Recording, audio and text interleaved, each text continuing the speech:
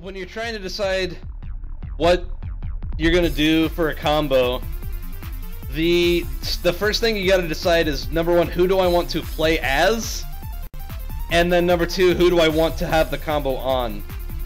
Now these are things that you can change if it doesn't pan out, but like it's good to have these ideas in your head at the very beginning. I would say the easiest character to do combos with is Captain Falcon, and the easiest combo to, uh, character to do combos against is Falcon, also. So a pretty easy starting place is just Falcon on Falcon. Now, the next thing you gotta decide is what stage you want to do. And basically, this is totally up to you. Because every stage has cool stuff about it, just about. Um, and like original stuff that you can come up with on it. It's just like how dedicated you want to be. I'd say probably Saffron has the least potential as like I mean, not the least potential, but like, for someone who doesn't really know what they're doing starting out, Saffron would probably be the hardest because there's so much elevation changes. There's so many like like weird stretches of like unique stuff. It's just difficult to get something going on Saffron. Any stage would work. You just have to decide which stage you want to do it on.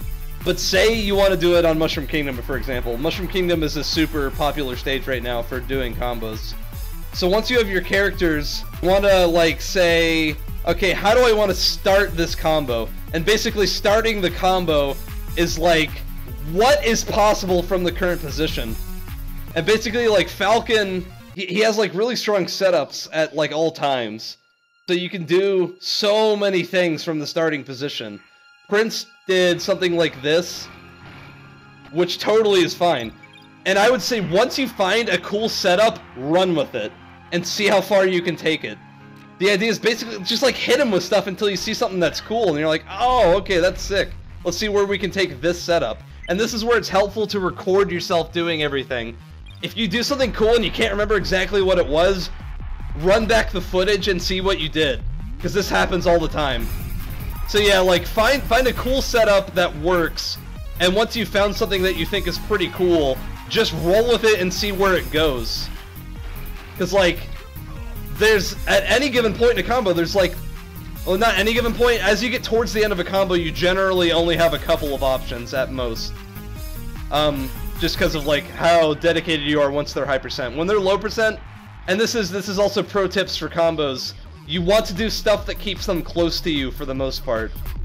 The only time you want to do something that hits them far away is if you hit them against something that knocks them back to you. For example, on Zebes, you can hit them against the acid and have them come back to you. On this stage, you can have them bounce against this wall and come back to you, or you can have them hit a piranha plant and come back to you. There's a million different ways that you can have them come back to you, and come back to you, come back to you type combos are also super cool. So it's like, it's always something to consider. But if, if you're not trying to get a bounce back combo, you want to just do something that will keep them close to you, like as close as possible the whole time you're, you're working on your combo, keep in mind options that you would not normally think about. What makes a combo good is that the viewer is surprised by it. If the viewer's like, oh, I never would have thought to do that, makes it like automatically a way better combo. Alright, so you have your stage, you have your character, and presumably now you have your starting option. So whatever your setup is, you want to explore possibilities from there. And you want to say, like like keep an open mind. Like do your starting thing and then and then look at different attacks that can work. Ideally attacks that keep the opponent close to you. Mmm, like look at this. But now the other thing you have to consider is after my next move, what will my next option be? And so you always have to be thinking about that. Like up there, I up aired him up there and he was too high to actually do anything with. And so like before you commit to a move, you have to think, Alright, what is going to be possible after this move? Alright, so like, you do your follow-ups, and, and you maybe find you find a good a good chain of, of hits that looks really cool the whole way through. So like you're past the beginning phase, you're into the middle, the middle of the combo where you have a, a cool follow-up to go for. Once you're at the middle part, you have to you have to start thinking, how am I going to bring this combo to a cool ending? And uh, the cool ending if you're playing Falcon, uh, chances are it's going to be a Falcon Punch. But, like, what you want, the, the last thing you want to do is end on something generic, like an up B. What you want to do is end on something neat, ideally set up in a neat way. For example, Prince did his taunt cancel Falcon Punch off of the off of the Piranha Plant at the end of his combo, and that was a sick ending. The worst thing you can do is have a combo that has a sick setup and a horrible ending. Because that is like, it is the ultimate cuck feeling when you get to that. This this will like influence how you take the combo to the ending. Like what's possible after your your theoretical last hit. This is, I say, segueing from the beginning of the combo into the middle of the combo. I have a pretty cool start. Now I need to figure out where I can take it. And right now, my options are still gigantic. I still have like 8 billion things I can do. By the way, I advise, when you're doing a combo and you do something wrong, don't always reset. Especially if it's that you got a knockback that you weren't planning on. Because it's always nice to see, well, maybe I'll get inspired by something that I see as I'm just messing around. I think messing around leads to more cool combos than just about anything. You want you want the later parts of the combo to have more potential. You want to make sure the combo moves in a direction that is uh, conducive to a combo being continued. Like, for example, most of Mushroom Kingdom exists on the left side of the stage. All the stuff is over there. So, like, I kind of want to finesse this combo into going to the left. Because I know I'll have more follow-up potentials over there. Ooh, into the plan! Let's go, dude! Let's do something with that! Mmm! Feeling good about this!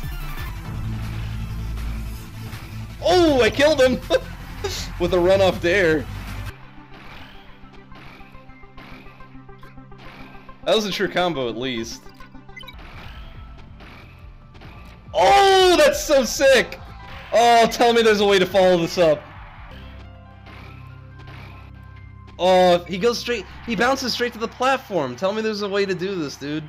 You know how many reverse forward airs and back airs I practiced in my life? This is why you do them, boys. This is why you play friendlies to style and not to win. Because it makes you good at training mode. Actually, that's not true. But the good ones are really hard. Oh, that was a true combo. And if I had, um... I could definitely Falcon Punch that. I'm almost positive. I could definitely, I'm almost positive.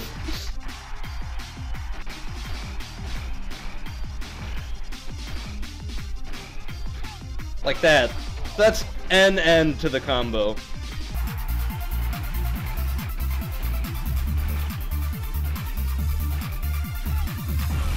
That's not a bad combo. I'm okay with it.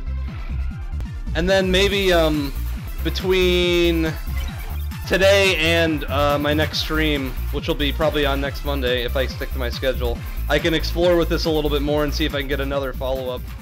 Hey guys, hopefully this video helped you out as far as this combo goes, I think it's a pretty solid mid-tier combo that's pretty cool and easy enough to execute in two minutes, which is really great for the early rounds of the combo contest.